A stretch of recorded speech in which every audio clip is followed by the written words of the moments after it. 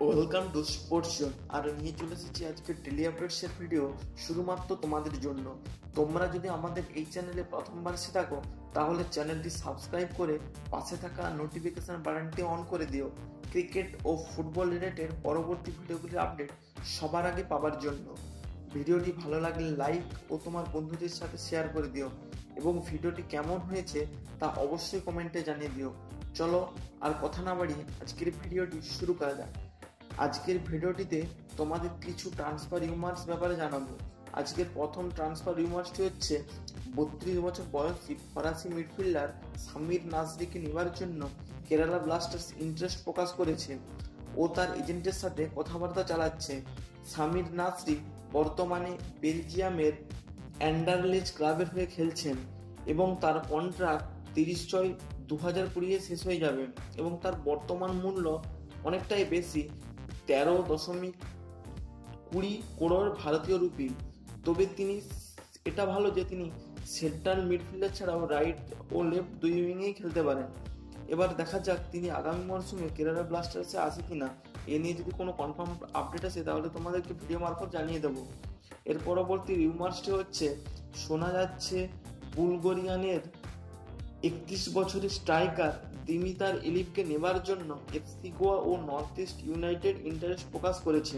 কারণ তোমরা সবাই জানো, নর্থ ইস্ট ইউনাইটেডের কোনো ভালো স্ট্রাইকার নেই এবং এফসি গোয়ার স্ট্রাইকার ফেডার করিমনাস সম্ভবত আগামী মরশুমে আইএসএল খেলবেন না গোয়ার হয়ে, কারণ তিনি অবসর নিতে চলেছেন।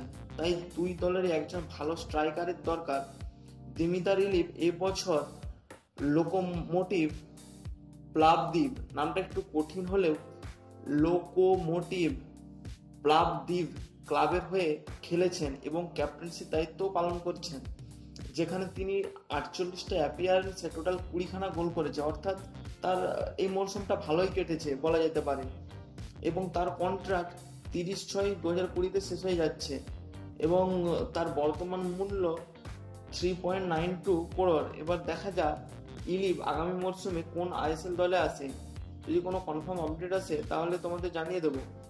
এর পরবর্তী আপডেট শোনা যাচ্ছে, এটিকে মোহনবাগান ও জামশেদপুর এফসি বত্রিশ বছর বয়সী মাল্টিনিগ্রান আন্তর্জাতিক ডিফেন্সিভ মিডফিল্ডার নিমেঞ্জা নিকোলিককে নেবার জন্য ইন্টারেস্ট দেখাচ্ছে।